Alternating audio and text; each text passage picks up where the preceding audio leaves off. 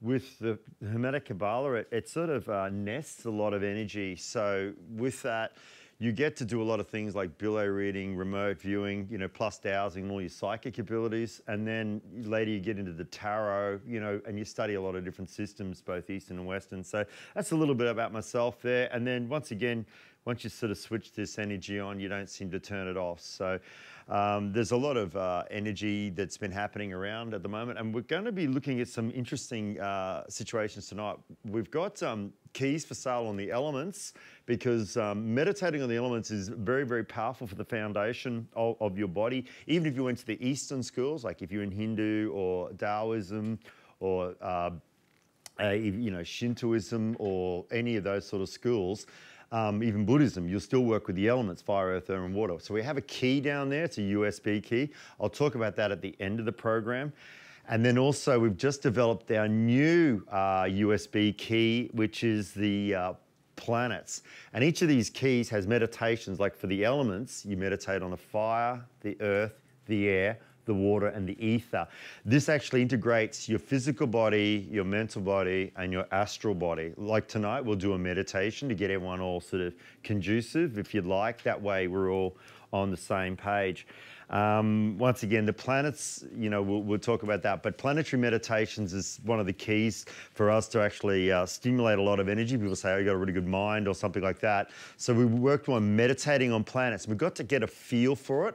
And with that, you can understand a lot of different cultures, you know, like from Norse to Sumerian to Egyptian to Celtic to Aztec, Mayan, whatever. But that way you really get an understanding. People say, oh, can you use this in a day to day way? I do because I can use it. I, I, have my own philosophies on things and I'm not sort of dominated by religions or, you know, governmental systems and things. You seem to be able to sort of flow through it. Okay, so without further ado, Pleiades, Sirius, and Orion are quite some powerful systems uh, in our culture. I don't know how many of you feel or know that you're star children or you're star beings, and that's what we look at.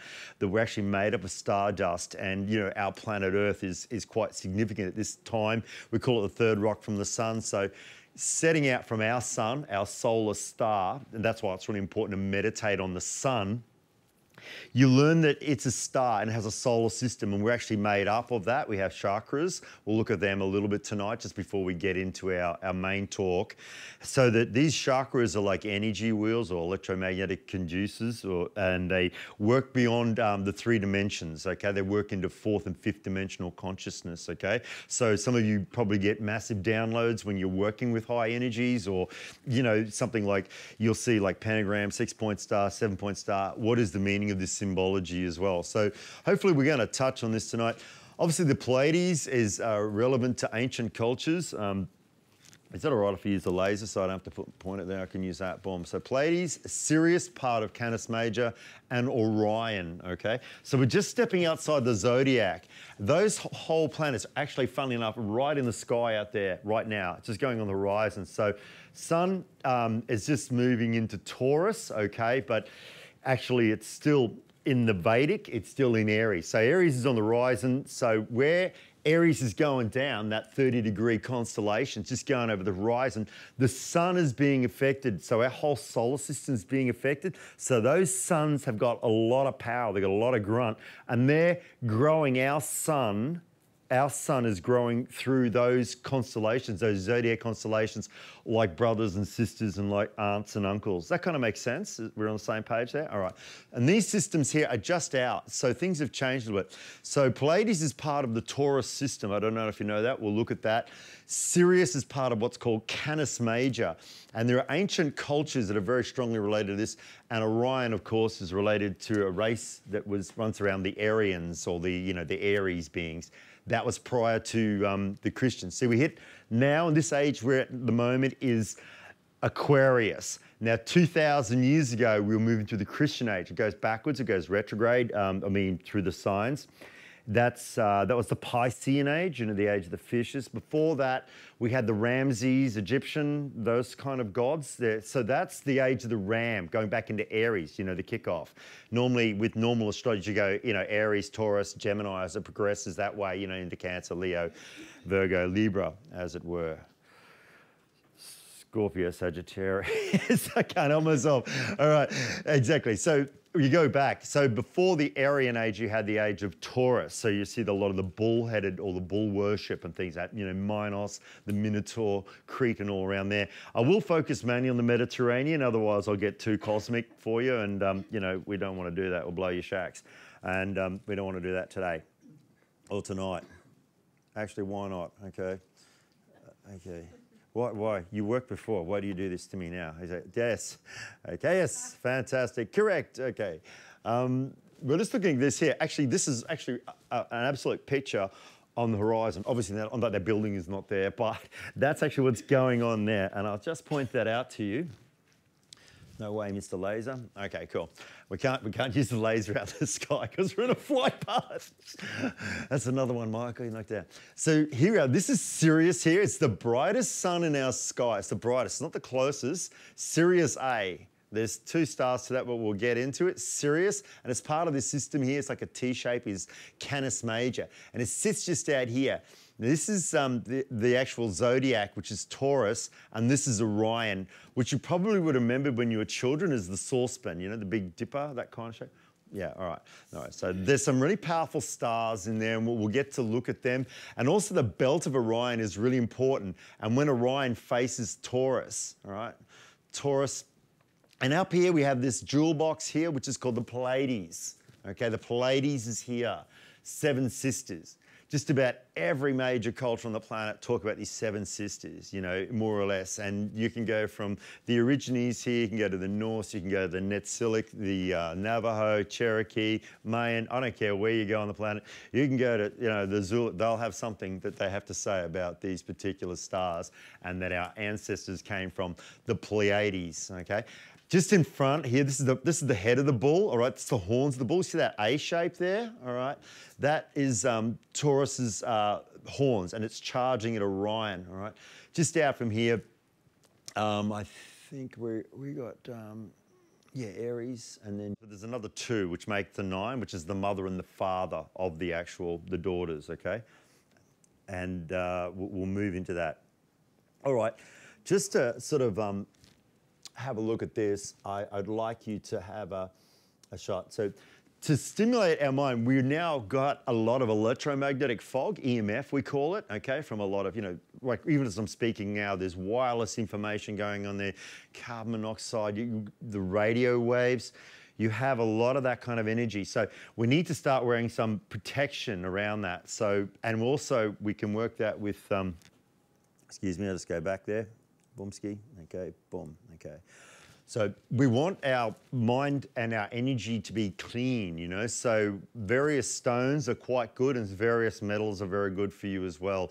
The main stones we're working with are now, of course, I, I recommend this for a lot of holistic healers and people that work with vibratory energy. If you're, you know, psychic or a reader, uh, those sorts of stones. So black tourmalines and uh, things such as obviously your quartzes, rose quartz is obviously loving, but the big one we're working now with is shungite. It's really good for water and it's very easy to clean. It, it, comes from Russia and it probably might become a little bit more scarce, but it's good to have around. It cleans. It's very good for balancing waters. So things like water and air, you know, you want to be in that clear so that your mind is clear because our mind, you know, well, if we lose our neck, we've got three main chakras there, the throat, the third eye, you know, the ajna, and then of course the crown chakra. So you want that clear energy running through your being, you know, so if you're going to tap into a lot of energy. So I'll just have a quick look at that, that you look at seeing yourself you know, you have neurons around you, but also around your body, you have an energy field or a series of energy fields. And this is like what you call your aura. So you have a physical aura, a mental aura, an astral aura, and of course your spirit itself. We usually work with the four bodies. It just simplifies it. So fire, earth, air, and water. Okay. Oh, excuse me. Yeah, if I'm talking too fast, that's just the way I am. okay. okay. Slow down, all right? Slow down. All right, this is the way we're wired up. So if we're looking at our I suppose our lymphatic and our nervous system, that's how our chakra system works.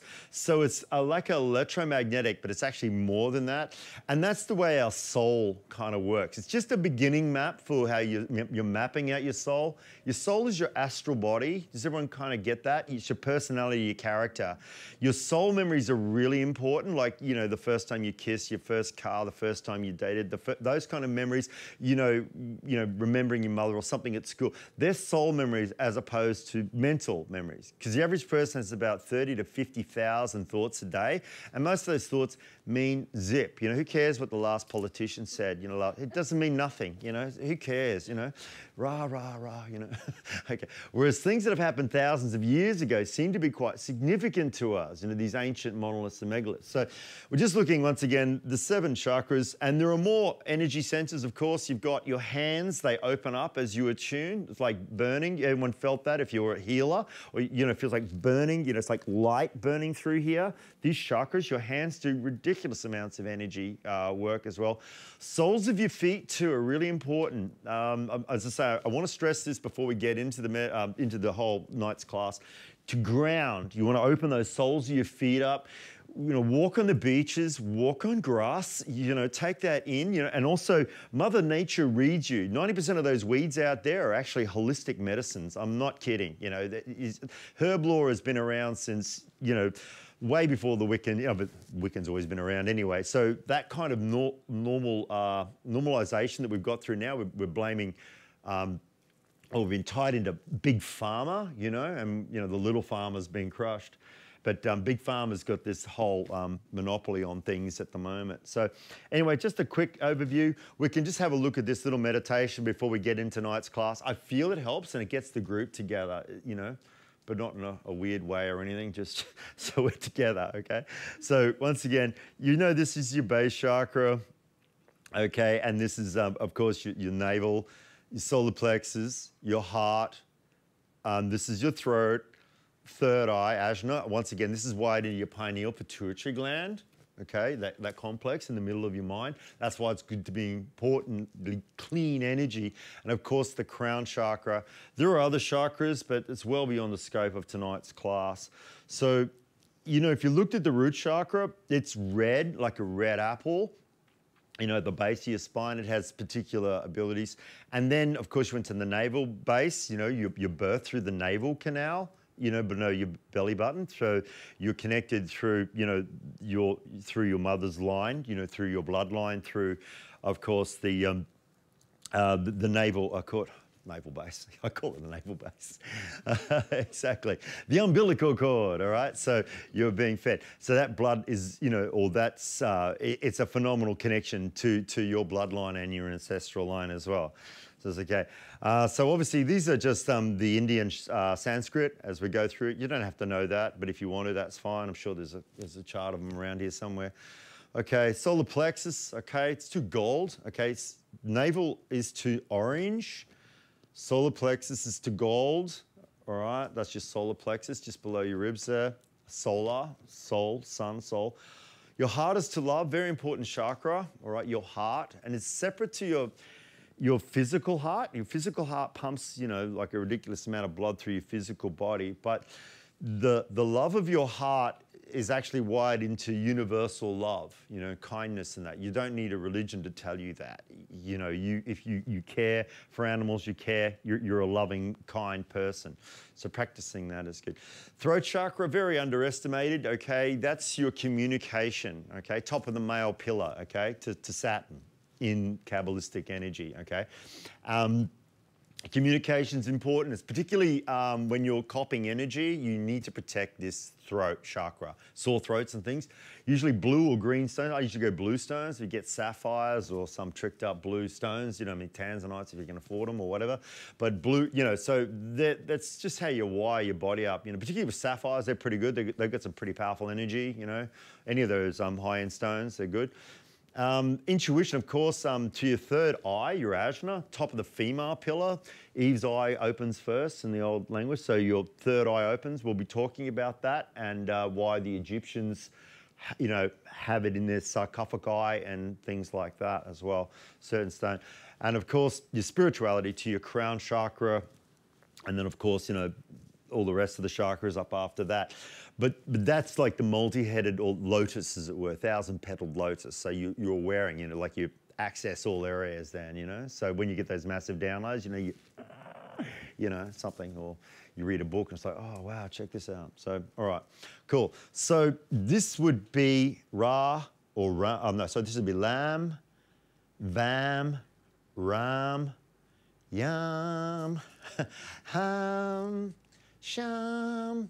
Um, would you like to do that? Would you like to go through those chakras? You don't have to voice them out in case you but you know we're not we're not singing for the nightclubs here but I just it's a good way to get together and that way you can carry it with you it's my gift to you guys you can take that anywhere you want you know okay would you like me to take you through that okay yeah okay so imagine now like you move your consciousness okay like you send your conscious mind down to your root chakra like the base of your spine so boom down here your coccyx sort of thing okay cool all right and then we're just going to go through it. Which I'll, I'll just talk you through it. You cool? Okay. Okay, cool. This is um, pretty much basic with most of the um, ancient cultures. It's a nice, clean, simple one. Seven colors of the rainbow. Great stuff. Okay, good. okay, so just relax and close your eyes. If you want to meditate with your eyes open, that's all cool. That's how we have to do it as teachers anyway. So all right, so I'll just take you through it. So base chakra, just imagine like a red glowing light and it's gonna work through all your bodies, your physical, mental, astral. It's like a red glowing light, you know, like you can see it envelop you. Just boom, like you're a red apple or a red star, something like that. Nothing to be afraid of, just gonna burn up a lot of negative vibes. That's all you're gonna do, bring in the pause, all right? Oh, okay, thank you very much. So just Nice deep breaths. Get that air in, areas of the gods. First thing you do when you bring yourself to this world is you take a breath of air. Nice deep breaths, calm, relaxing through the nose, through the mouth. Just focus on you now. This is important, all right? Get to really know you, right? Very important. It's for you, it's your gift. Nice deep breaths. Now bring your consciousness down. We're just going to think of ourselves as a nice big red sun or a red apple enveloping our whole being, all that life force. Here we go. First sound, if you don't want to voice it, that's okay, but I'm going to sing it through, is La.